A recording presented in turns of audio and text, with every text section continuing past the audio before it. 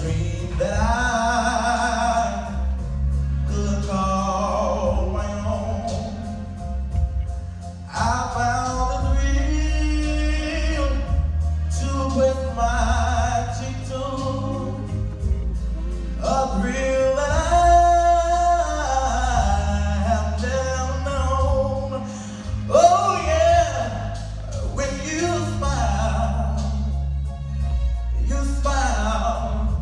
Oh.